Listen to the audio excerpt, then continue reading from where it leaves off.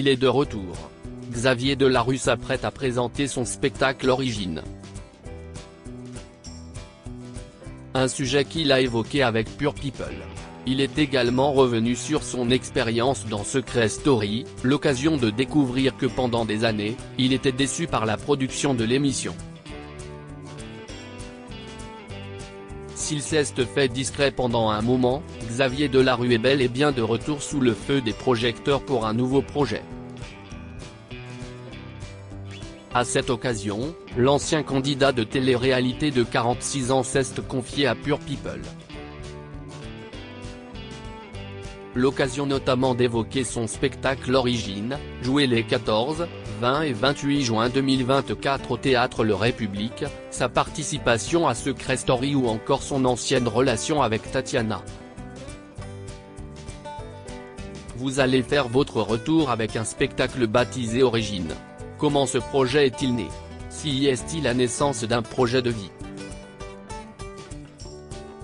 Si est une sorte d'autobiographie? Flemme d'écrire un livre et je pense que les gens auraient eu la flemme de me lire aussi. Aujourd'hui, on est plutôt sur des formats vidéo. Mais autour de moi, on m'a dit que j'avais une vie assez peu banale, qui ne laisse pas indifférent. On m'a aussi dit que je faisais tout le temps le pitre, donc qu'il serait temps que les gens me découvrent comme je suis. Ils avaient l'impression que les gens ne me connaissaient pas réellement. Par exemple sur les réseaux sociaux, je n'étais pas très souriant ou j'étais le mari d'eux. Je me suis dit que c'était peut-être le bon moment. Des choses ont changé dans ma vie. J'ai envie de parler à un public qui ne me connaît pas forcément, qui m'a connu à travers différents projets. Origine, si y est-il la somme de ce que je suis aujourd'hui? Quels sont les sujets évoqués? Je reviens sur des sujets qu'on ne connaît déjà. Je ne peux pas esquiver le fait qu'on ne m'ait connu en 2007 dans Secret Story ou mon passage dans les mystères de l'amour. Je reviens aussi sur toutes les anecdotes de la vie people comme les soirées. J'évoque aussi une grande partie de mon enfance, de la manière dont on m'a considéré étant petit, étant métisse d'un papa guadeloupéen et d'une maman normande, comment on a perçu ma famille, comment on vivait et aussi mes enfants que je mets un peu en lumière dans ce spectacle. Si est-il le résultat de ce que je suis actuellement, de ce que j'ai envie de dire aux gens? Parce que j'ai l'impression qu'on a du mal à me définir. Vous étiez effectivement assez discret. Tout à fait déjà je suis discret. Et on m'a connu en couple. On est souvent axé sur la femme et avec le parcours que Tatiana a eu, ça a pris énormément de place. Sur ses livres, ses combats. J'ai été utile, mais dans l'ombre. Et toutes ces années, je ne parlais pas de moi du fait que j'ai grandi en banlieue, ou ma carrière de basketteur. Donc si est 1h15 d'humour évidemment mais il y a aussi de la réflexion. Si est pour ça que ce n'est pas un stand-up, si est un seul en scène? Avez-vous mal vécu le fait de vous mettre en retrait à l'époque où vous étiez en couple? J'ai aimé la soutenir dans tous ses combats. Je suis quelqu'un de fidèle et quand tu m'as dans ta vie, je suis un guerrier. Mais à un moment donné, j'ai eu du mal à trouver ma place. J'ai eu du mal à savoir comment je devais communiquer. Ce n'est pas facile d'être associé à un combat. Tu te dois d'être irréprochable médiatiquement, alors que moi je suis un bout en train. Quand tu es un binôme, si est dur d'aller à l'encontre de ce que fait l'autre. Tu dois trouver une communication assez harmonieuse. J'aurais aimé prendre plus de risques individuels. Mais je pense que le spectacle n'aurait pas pu avoir lieu dans cette configuration-là. Des années après, je peux monter sur scène et parler sans filtre. Terminez les strass et les paillettes ou les filtres sur les réseaux sociaux. Venez me voir, on va discuter. Le public peut interagir. Comment vous sentez-vous à un peu moins d'un mois de la première? J'ai toujours besoin de me challenger. J'ai besoin de cette adrénaline depuis que j'ai arrêté le basket il y a 11 ans. Je continue mes rodages pour travailler sur la mise en scène ou le texte, mais je me sens excité. J'ai vraiment hâte de monter sur scène et de débuter cette relation avec le public. En attendant, je continue à peaufiner. Pour le moment, seules deux dates ont été annoncées mais des choses vont se mettre en place à la rentrée ou cet été. À la base, je devais annoncer tout ça pour la rentrée, mais j'en avais marre d'attendre.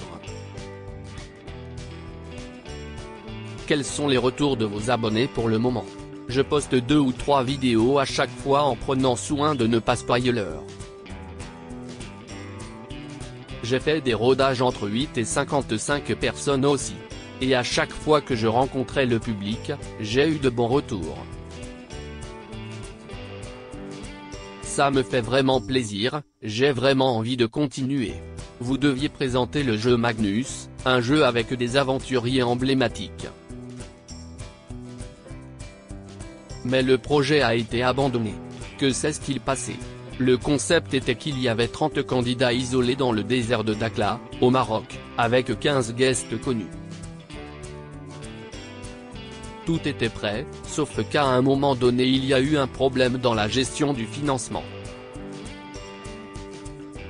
Et la formule d'intégrer des votes du public n'a pas été bien perçue. J'ai senti qu'il commençait à y avoir une hostilité et je n'aime pas les polémiques. Je n'aime pas quand les gens se sentent floués. Donc j'ai parlé à la production et à quelques candidats guests pour dire qu'un l'état, je ne pouvais pas continuer à présenter le projet. Donc pour le moment, le projet est en stand-by.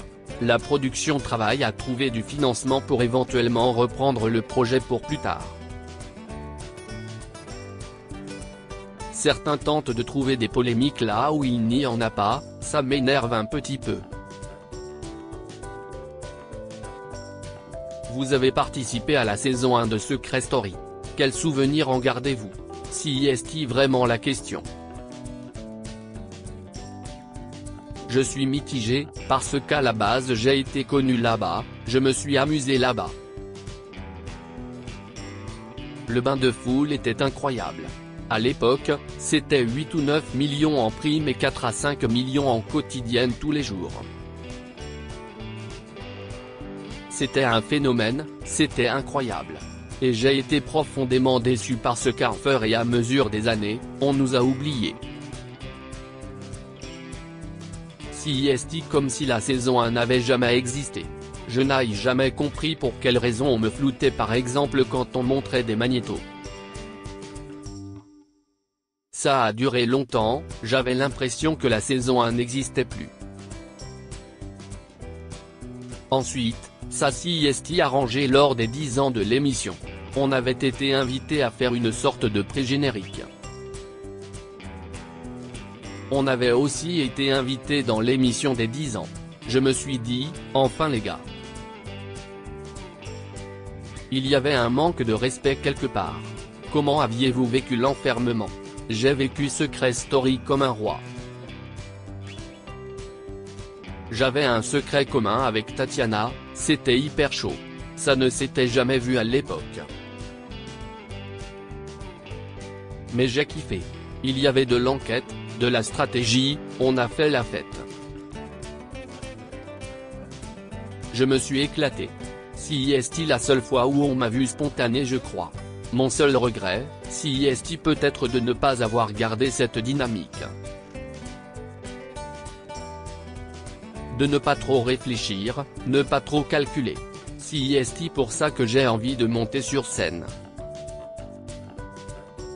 Votre secret était d'être en couple avec Tatiana. N'aviez-vous pas peur à l'époque que cela impacte votre couple? Je pense qu'on n'a pas réfléchi à ça. On était jeunes, on avait envie de s'amuser. À la base, je ne devais même pas participer. Si est elle qui devait le faire? Mais sur une deuxième salve de photos qu'elle a envoyée, j'étais dessus. On l'a appelé pour lui demander qui j'étais et à l'époque, il recherchait un couple. Avez-vous hésité à participer? Je me suis demandé où j'allais mettre les pieds. Mais ça tombait pendant mon intersaison, il était basketteur professionnel, note de la rédaction. Si est tombé en juin et on était censé sortir début août.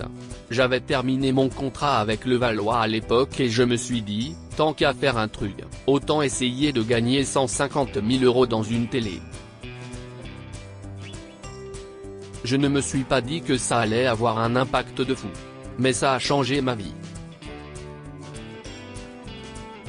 ne parle dans mon spectacle.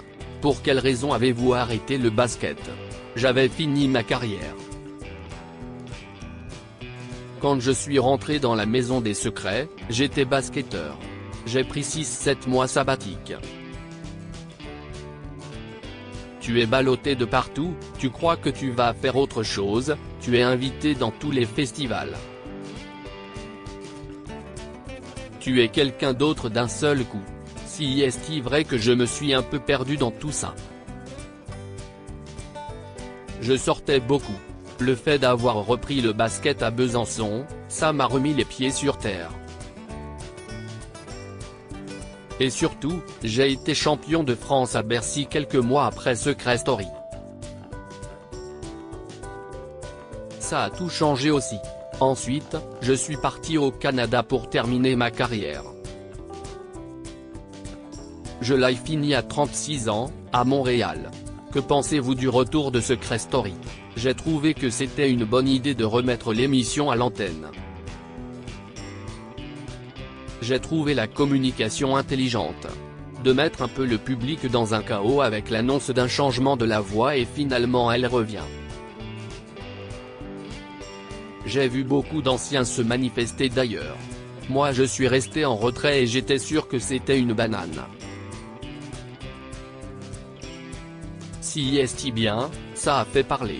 Christophe Beaugrand a repris les rênes et il assure quoi qu'on en dise. Quand je peux, je regarde. Je trouve que la mécanique est celle de la première saison. On est sûr de la recherche de secrets, sûr de la manipulation, sûr de la guerre des clans. J'adore. Si est ce que veut voir le public. Ils ont dynamisé le truc. Que pensez-vous du casting? J'ai vu des polémiques passer. Quand tu es casteur et quoi ne te demande de chercher des candidats, tu fais comment? Tu vas les chercher où? Aujourd'hui, tout le monde a des comptes sur les réseaux sociaux. Je pense qu'il y a eu un problème de compréhension. Effectivement, il y en a pas mal qui sont sur TikTok. Mais même s'ils se connaissaient, ils ne peuvent pas déceler un secret. Je pense que le public a confondu la recherche des secrets dans la maison des secrets et à l'extérieur. À l'extérieur de la maison, si est facile avec Google et les réseaux sociaux. On trouve tout en 5 secondes. Contenu exclusif ne pouvant être repris sans la mention Pure People. только.